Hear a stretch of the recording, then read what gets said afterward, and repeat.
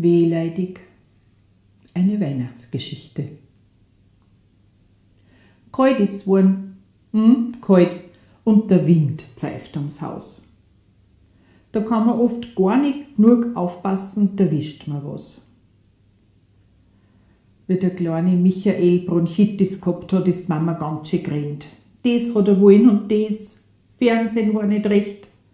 Eine Geschichte vorlesen war er am Pfad. Schlafen hat er nicht können, Memory spielen war so deppert und das Essen war auch allweil grauslich, ganz wurscht, was die Mama hingetragen hat. Ja, nutzt eh nix, da muss man reinbeißen als Mama. Sind eh arm, wenn's krank sind, die Kleinen. Mein Gott, na, und kurz drauf, wie ihr Dirndl in der Schule beim Kochen mit drei Fingern in das heiße Wasser eingelangt hat. Na, das war erst der Gaudi. Mir die zu, Mama, frisier mich, Mama, das tut so weh. Kannst mir nicht zum Trost einen Grillteller mit Pommes machen? Mama, kratz mein Bugel, Mama, geh weiter, putz mir's Mobet. Mama das, Mama das. Und wie wenn das nicht genug gewesen war, hat der Papa auch noch Grippe erwischt. Die Schweinegrippe war's.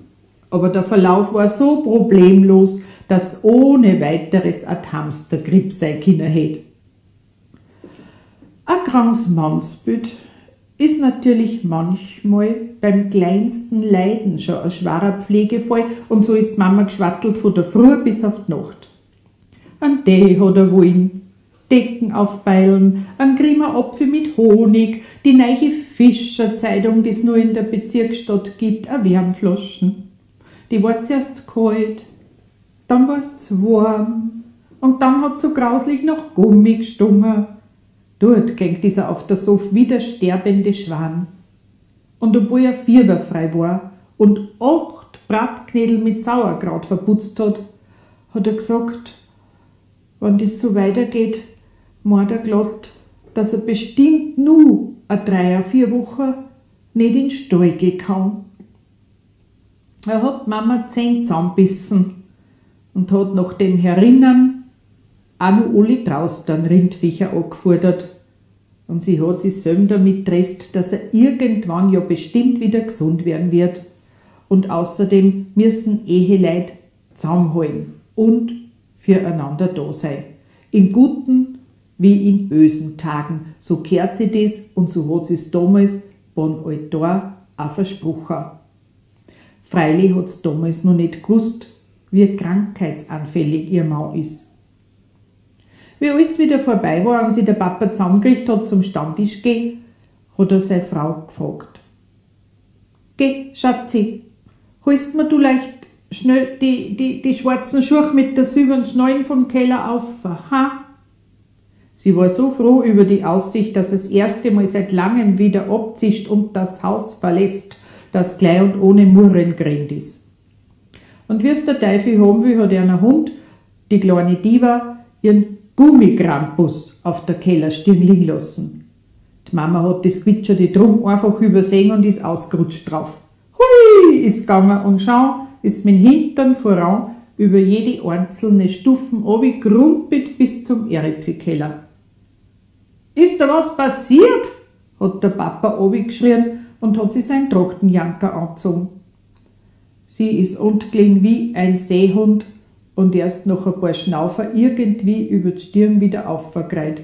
Alles hat ihr weh Auf der Stirn hat's bliert, das Kreuz hat's gar nicht mehr gespürt und der linke Knöchel ist binnen Minuten zu einem riesigen blauen Pinkel angeschwollen. Mei, bist du botschert, hat der Mann gesagt. Hast leicht du keine Augen nicht im Kopf? Ja, den Krampus, den sieh ich da von allerweil da liegen. Sie hat nichts gesagt und hat sie auf Zoff gelegt.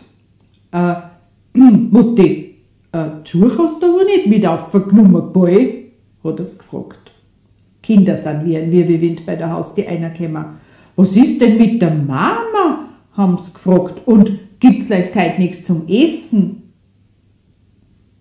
Der Papa ist schon langsam nervös geworden, weil sie überhaupt keinen Rierer da hat und es war schließlich die längste Zeit für den Stammtisch. Na, und den wollte er nicht versammeln, weil auch grad heut war ja zugleich die Weihnachtsfeier von die Zimmerquerschützen und da wird der Schnitzel zahlt.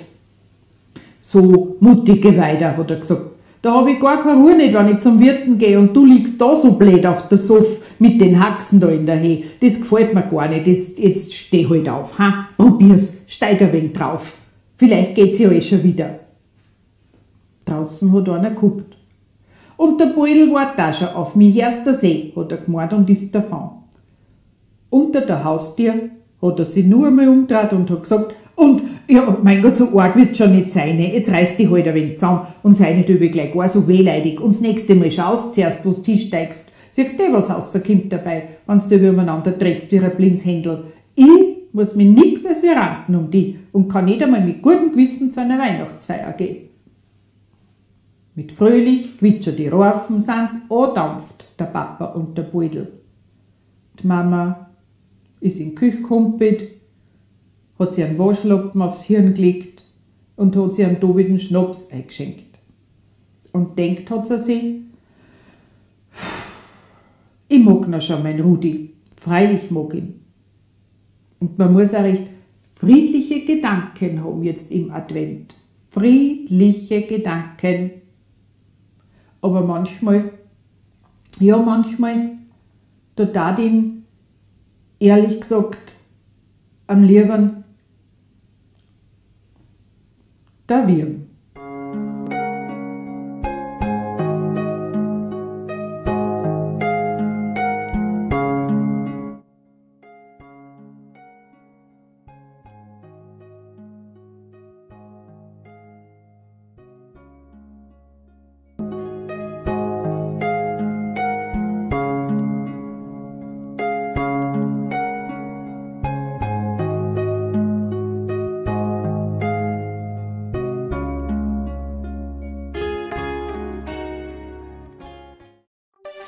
Insa TV, TV, TV. Land und Leute sind unsere Stars. Die Adventzeit bietet nochmals die Gelegenheit, Kunst und Antiquitäten bei Kösselried am Rossmarkt günstig einzukaufen. Ob als Geschenk oder persönlicher Freude an der Kunst, ein großes Angebot wartet zum letzten Mal im ehemaligen Riederstammgeschäft am Rossmarkt. Minus 50% Rabatt bei anerkannten Kunstobjekten sind eine besondere Gelegenheit.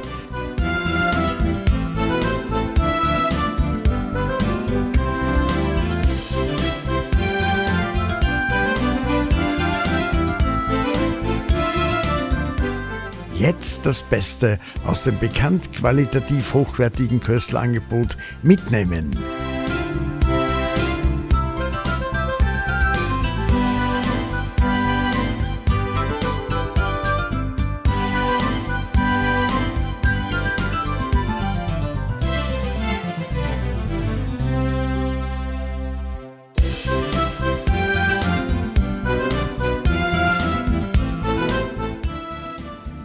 Eine große Auswahl an Werken von Innviertler Malern wie Kubin, Dachau, Weidinger, Blank, Gabler oder Bechet erwarten Sie. Dazu Helga Kössler. Wir haben noch eine große Auswahl an Bildern von Innviertler Malern, wie zum Beispiel Wilhelm Dachau,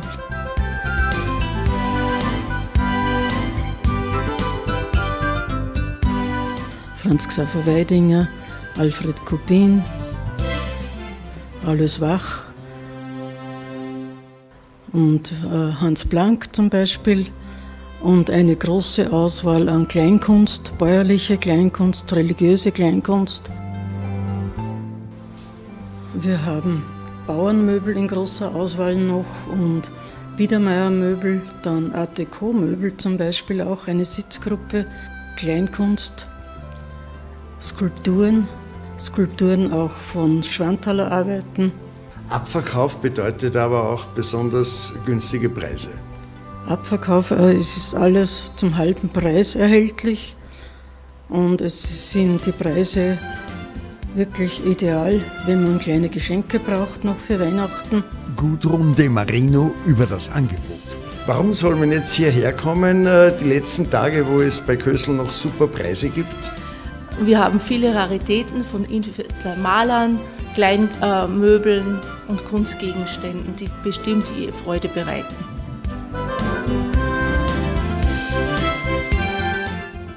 Noch bis 23. Dezember das Angebot des Totalabverkaufs in Ried. Auf über 400 Quadratmetern finden Sie bei Ihrem nächsten Wien-Besuch in der Schönbrunner Straße 271 weiterhin die Qualität mit fachlicher Kunstberatung von Kommerzialrat Professor Peter Kössel und seinem Team.